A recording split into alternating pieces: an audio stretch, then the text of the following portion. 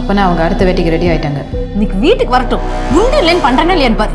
அவங்க ஆரம்பிச்சது தான் இந்த கரியன் சரித்திரம். நீ என்ன பெரிய ஏரியா டோனா?